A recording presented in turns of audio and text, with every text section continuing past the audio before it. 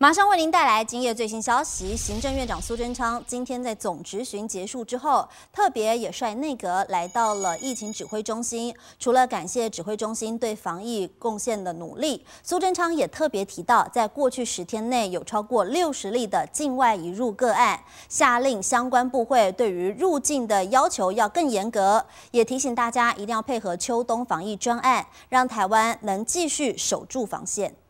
立法院总咨询刚结束，行政院长苏贞昌马不停蹄来到疫情指挥中心。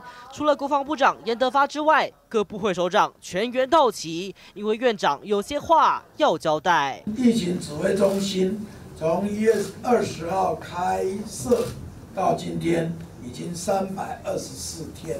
我们疫情指挥中心大家真的辛苦了，我今天就是特别来对大家表示敬意。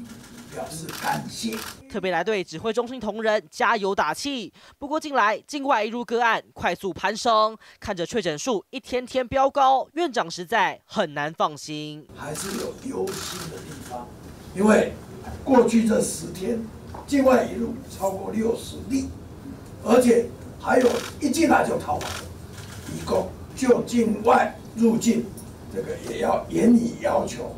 如果中介公司等。是目前这个样子，那不行。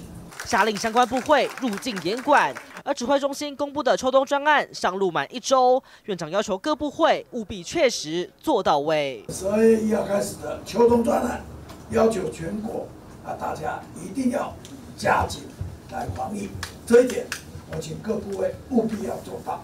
院长亲自来督军，指挥中心上下，再到各部会绷紧神经，要替人民守住疫情防线。记者林晨洲向三台报道。